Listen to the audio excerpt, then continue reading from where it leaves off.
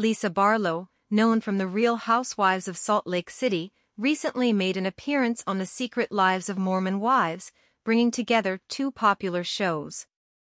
In Mormon culture, coffee and tea are forbidden, so soda shops are a popular alternative. In The Secret Lives of Mormon Wives, Season 1, Episode 5, Demi Engemann and her co-stars Jessi Ngatikaura and Layla Taylor visit Swig, a well-known Utah soda shop with highly specific drink orders. Barlow, who converted to Mormonism, is famous for her love of fast food and Diet Coke.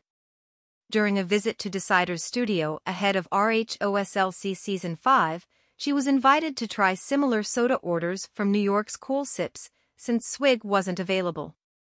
Barlow was asked to taste and rate each drink from 1 to 10. Naturally, the experiment ended with her favorite, a Diet Coke, maintaining her iconic brand.